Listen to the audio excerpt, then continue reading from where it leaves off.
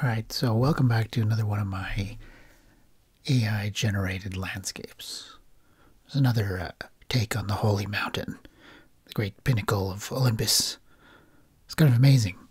These three different renditions, just generated by clicking the mouse. The program just reinterprets your projection and just it's amazing to me how it just makes these incredible landscapes. Well, okay, interesting landscapes just out of nothing.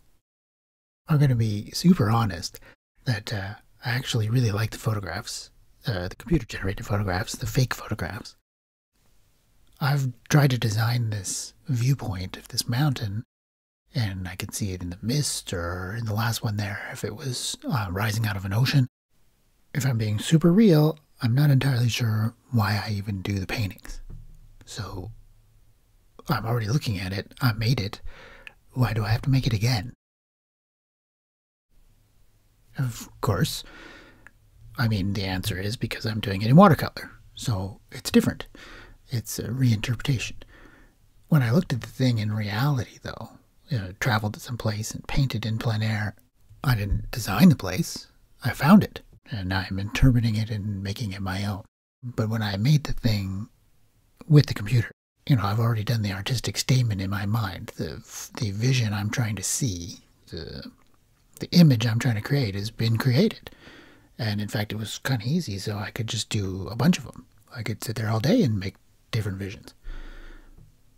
So when I turn to the watercolor, I'm presumably making it better, right? Like uh, there's a reason to do it because you're making it better than what you've already achieved uh, digitally.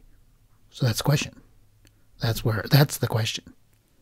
Am I, in fact, making something that is better than I could make with the computer? So there's a couple ways you could think about it. Like you could say, that's a stupid question. Of course it's better.